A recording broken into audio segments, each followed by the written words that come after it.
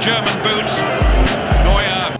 How's it going, everybody? You got Byson here, and I'm coming at you with my biggest review yet of FIFA 15. It is a Team of the Season Manuel Neuer review. I never ended up doing his Team of the Year, but I was able to get my hands on this crazy Team of the Season card.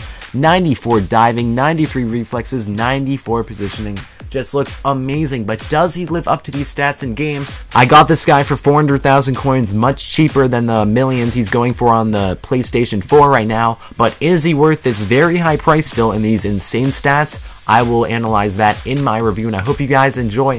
Let me know who else you want me to review, but for now, we have a big review right now. The Season Neuer, here we go.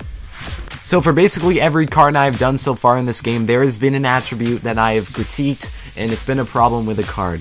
However, this is the first card that I have played with and said, wow, this card has no negatives and I would spend a million coins to get this card.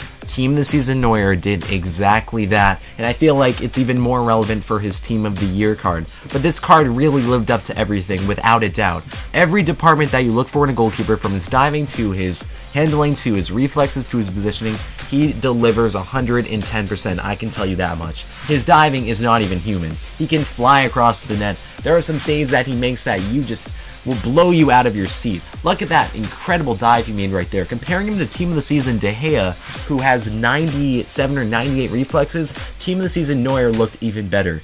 Like every other Neuer card, he's really big in net, he takes up a lot of space in net, keeps a good position, he will not disappoint, and very, very rarely is in a poor position.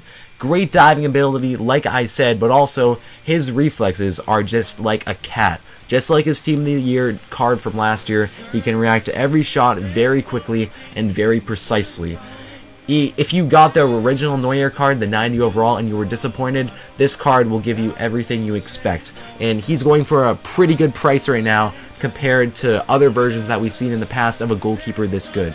He definitely delivers in every single way, and through the five games I played with him, it was evident that this card was fantastic, and there's nothing else I can say but good things about this card. No negatives that I saw besides the price. I just feel like it is worth paying that much money, even though it's a goalkeeper. For a goalkeeper, you're to want to have someone that impacts your team so much because I my philosophy is you want to spend that money on a position player that can help you score goals. This is the one card, and obviously Team Lear Neuer and a few others maybe, that is worth spending all those coins on because he can make a definite difference in your team. Final rating, a 10 out of 10 for this card, without a doubt. Just simply phenomenal. I'm so glad I was able to get this card, and I really hope I can review his Team of the Year version. However, there are not a lot of those on the market right now.